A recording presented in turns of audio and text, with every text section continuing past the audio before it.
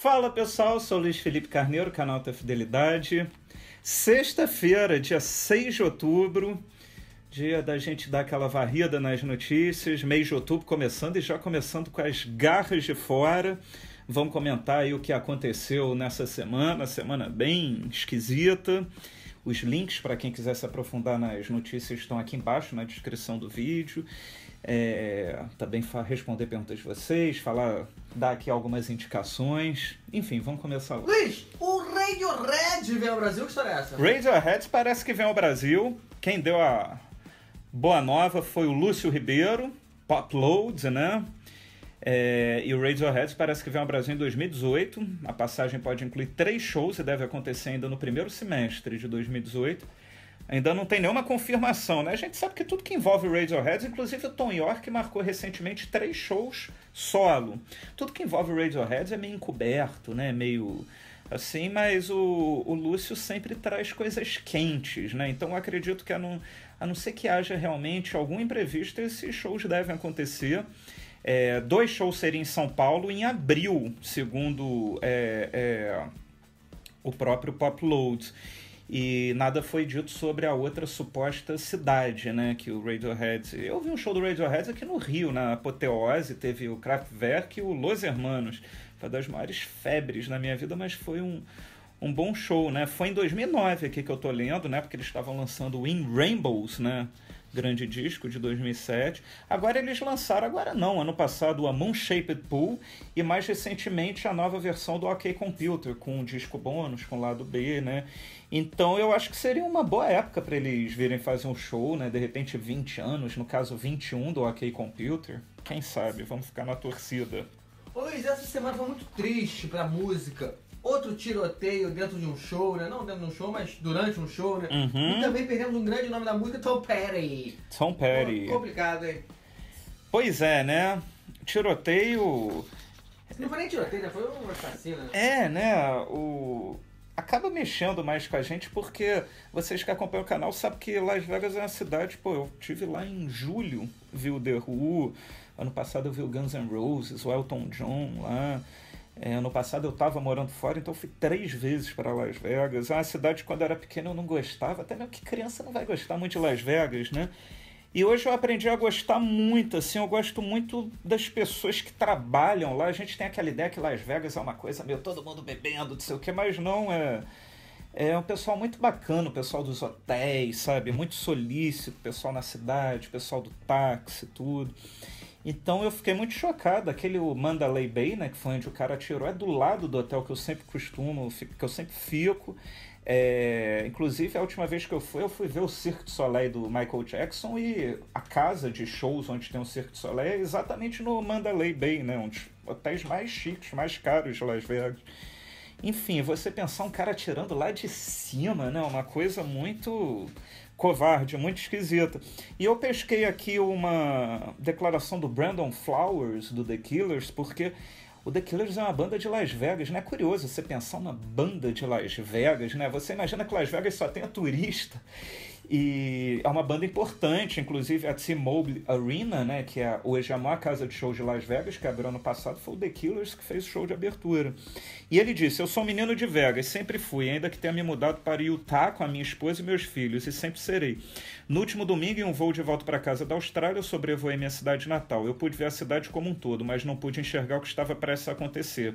É difícil de acreditar que é real. Minhas orações vão para todos os que perderam as vidas e para todos os afetados por esse pesadelo. Estou devastado pela minha comunidade e por todas as pessoas que se reúnem para prestigiar shows.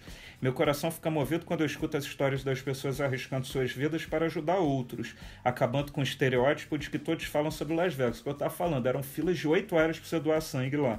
Somos todos irmãos e irmãs. Eu sinto falta da minha cidade, da minha mãe, dessas vítimas que eu nem conheço, e estou ansioso para me juntar de novo a vocês para manter a memória delas viva. E eu li uma notícia, né, ontem que esse cara que matou o pessoal em Las Vegas, ele tinha feito uma reserva no hotel do lado do Lollapalooza em Chicago no início do ano, ou seja, ele já devia estar tá calculando essa coisa toda. E poderia ter sido no Lollapalooza, né? E isso leva a gente a pensar que, pô, quando a gente vai a show, né? Pô, show lá fora, então, pô, pra você entrar no show no Madison Square Garden é quase que entrar num avião. Hoje em dia você tem que passar por detector de metal, você tem que tirar tudo do bolso. Se você tiver com uma bolsa, o cara vai vasculhar a tua bolsa, a tua mochila toda. E ao mesmo tempo que a gente tem essa segurança toda, entre aspas, lá dentro, um cara lá fora pode matar 60 de uma vez, que foi o que aconteceu, né? Então, no fundo, a gente nunca está seguro, né? Não adianta. Daqui a pouco a gente vai ter um detector de metal no mundo todo para você andar pelado. Só vai poder andar pelado no mundo para ter certeza que não tem ninguém armado, né? E falar sobre o Tom Perry, eu me lembro que eu estava trocando lá uma mensagem com o Marcelo Frois, né, que tem entrevista no canal. Vou colocar até a entrevista dele no final do vídeo. É, ele, a gente tá trocando uma mensagem sobre um assunto, ele, caramba, o Tom Perry infartou, aí foi instantâneo, né? Eu tive que parar tudo, eu estava fazendo umas outras coisas aqui e fui fazer o obituário do Tom Perry. Aí ficou aquele disse-me disse, morreu, não morreu. É, eu, eu, a Rolling Stone, todos os veículos chegaram a postar a morte do Tom Perry. Eu postei no Facebook, mas depois eu tirei, porque não estava nada confirmado. Eu falei, pô, não vou matar o cara antes da hora, né? Mas eu comecei a fazer o obituário dele tudo, e logo que deu a notícia, eu já estava acabando de gravar o vídeo, e foi só colocar no ar. Eu acho que não tinha como não fazer um vídeo exclusivo para ele. Tudo que eu tinha para falar sobre ele eu já falei no vídeo, vou colocar no final desse vídeo também. É, e eu postei no Facebook também o vídeo para quem quiser ver lá e falar um pouquinho da repercussão só. Por exemplo, o John Mayer falou: amava Tom Perry e fazia covers de músicas dele porque queria saber qual era a sensação de voar. Você pertence a um lugar onde se sinta livre. Cameron Crowe, sem palavras, apenas obrigado. Brian Adams, é, Rest in Peace, Tom Perry, obrigado pelo ótimo rock. Difícil acreditar que você se foi. Steve Van Zandt, da E Street Band. É, isso não pode estar acontecendo. Não com Tom Perry, por favor. Nosso mais profundo amor e condolências para a família e para a banda, né, os Heartbreakers, de um grande irmão, Steve Van Zandt. que é mais aqui? Billy Idol, chocado de escutar isso. É, Nile Rodgers, é, Hip Tom Petty, é, Você e Sua Arte Nunca Serão Esquecidas. E também teve Paul McCartney, Ringo Starr, Mick Jagger, Cyndi Lauper. Bob Dylan, que era parceiro dele do Traveling Wilburys, disse, estou chocado, ele era um grande artista, cheio de luz, um amigo, e eu nunca o esquecerei. E o Bruce Springsteen falou: aqui na E Street, na E Street, estamos devastados e de coração partidos acerca da morte do Tom Perry. Nossos corações estão com as famílias e com seus parceiros de banda. É, eu sempre senti um parentesco muito grande com a sua música. Ele era um grande compositor e performer. É, que é mais aqui é, é, era como mesmo quando eu ainda não conhecia era como se eu tivesse encontrando um irmão perdido o nosso mundo será mais triste sem ele Luiz, você citou o Bruce Springsteen aí, ele falou sobre o disco, o próximo disco dele também, não foi? Pois é, ele disse uma entrevista à revista Variety. É, ele abordou, abordou o seu próximo álbum e falou que não vai ter canções sobre Donald Trump. Ele disse que não é necessário no momento escrever canções sobre o atual presidente. Ele disse que não tem interesse em escrever sobre a atualidade. Abre aspas, disse que tinha a dizer nesse aspecto no Wrecking Ball. Ele disse se referindo ao disco de 2012, né? E de qualquer forma ele faz, ele volta e meia faz críticas ao Trump, tudo, mas não quer colocar na música. E ele disse: Ainda acredito que essencialmente as pessoas ouvem música para seu entretenimento. Pode falar de seus problemas diários, de política, mas acredito que é fundamentalmente uma questão de coração. E ele disse: Eu nunca vou fazer um disco para ser apenas polêmico. É, eu não lançaria um disco desse tipo. Para mim seria abusar da audiência, né, do público e nunca quis pregar um ponto de vista ideológico. É, ele fala as canções do Wood Guthrie não eram ocas, não tinham uma só dimensão, era sobre personagens e os tempos de então. E quando ele falou sobre esse disco, ele falou que é um disco de personagens. Aliás, os discos dele são assim, né? Você escuta desde o primeiro aquela coisa, vários personagens diferentes, tudo. E ele diz: está ligado aos meus álbuns solo no que diz respeito à escrita, mas não é, não é parecido com eles. São diferentes personagens a viver as suas vidas. Ele diz que é influenciado pela música pop do sul da Califórnia nos anos 70, de, como Jimmy Webb, Burt Bacharach. E ele diz também que está à espera do momento certo para lançar o disco. E também, só para terminar aqui do Bruce, ele estreou essa semana a sua temporada na Broadway, né, em Nova York. Ele, inclusive, o primeiro show, acho que foi no dia seguinte da morte do Tom Perry, então ele entrou no palco fazendo um discurso para o Tom Perry. Foi um show de duas horas, como eu imaginei, né, uma temporada, acho que de segunda, de domingo a, a dom... não, só segunda que não tem show, enfim. Então ele não vai poder dar quatro horas de show todo dia. Então os shows têm duas horas de duração, é, é só violão e piano. A mulher dele participa em duas músicas cantando, a Patsy Alpha, né? E o repertório começa com Growing Up, que é uma música do primeiro disco dele, tudo. É uma coisa bem pessoal, pelo que eu vi. Tem My Hometown, My Father's House, você vê, uma coisa muito com My, meu, né? E tem clássicos, Thunder Roads, Promised Land, Born in the USA termina com Born to Run. Enfim, 15 músicas. E se alguém for esse show, nos faça resenha pra gente. Luiz estava comentando que o lançamento de hoje é incrível. São dois lançamentos. Pô, você falou que um é sensacional. Ah, cara, antes de falar lançamento, eu quero, só para alegrar um pouquinho o vídeo, eu quero falar uma coisa. Que no último vídeo todo mundo ficou falando desse porta-retrato maravilhoso aqui. Galera VIP. É a galera VIP. A galera VIP é nada mais eu, eu e o diretor. Eu vou explicar, isso daqui era um porta-retrato com pedação de vidro. E logo que eu me mudei pra cá, sei lá, alguém deve ter colocado olho grande, colocou de novo, que caiu aqui. O, do nada o vidro se espatifou no chão. Então eram três fotos. Aí, as três foram no lançamento do meu livro do Rock in Rio. Essa eu tô aqui com o diretor. Cara bonito. tá direito. Essa aqui eu tô com o Léo Mag e o Bruno, meus amigos gêmeos. Olha só.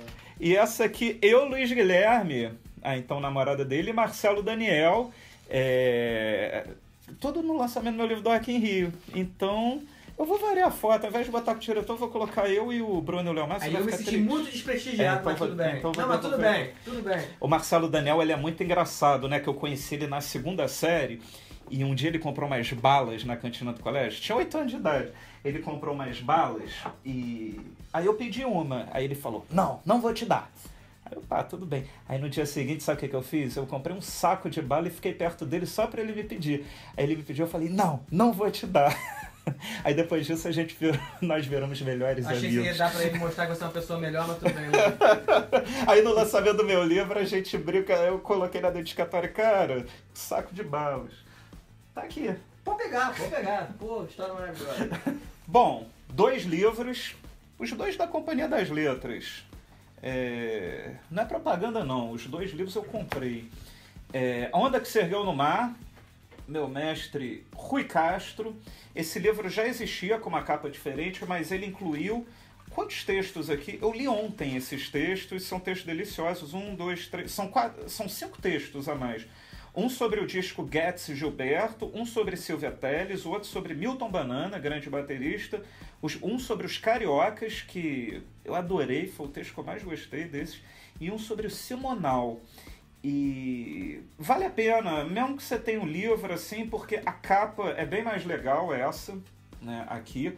E os textos são textos que realmente são faixas bônus muito interessantes, sabe? Esse texto dos Cariocas eu fiquei assim Caramba, que texto sensacional. Então recomendo. E além desses textos, tem aqui. Esse livro é uma continuação, em tese, do Chega de Saudade, né? Que é a Bíblia da Bossa Nova, escrita pelo Rui Castro também.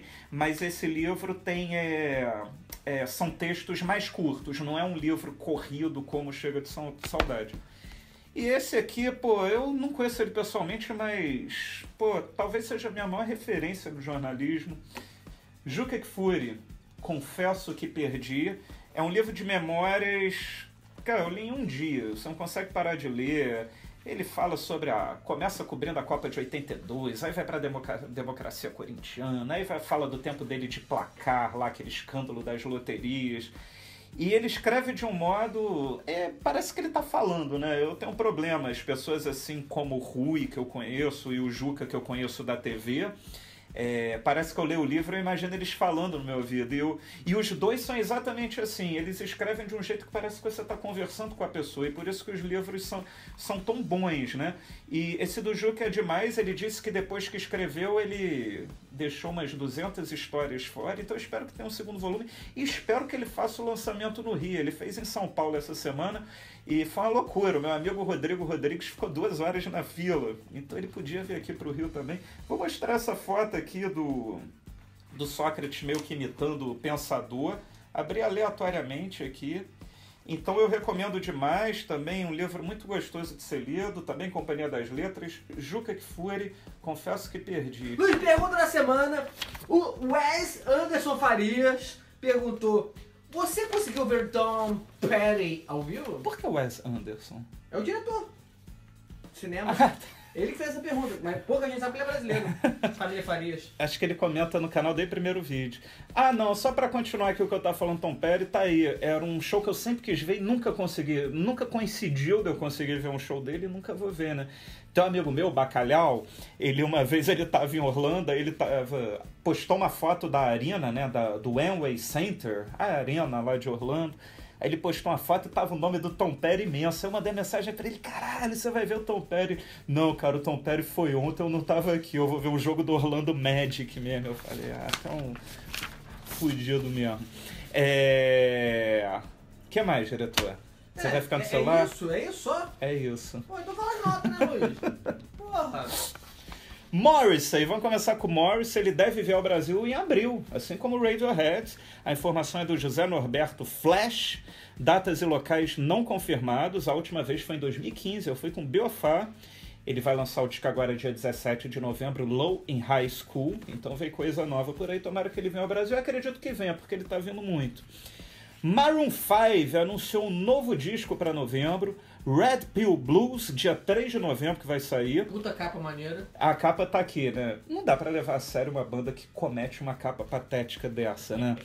É o sucessor do 5 de 2014.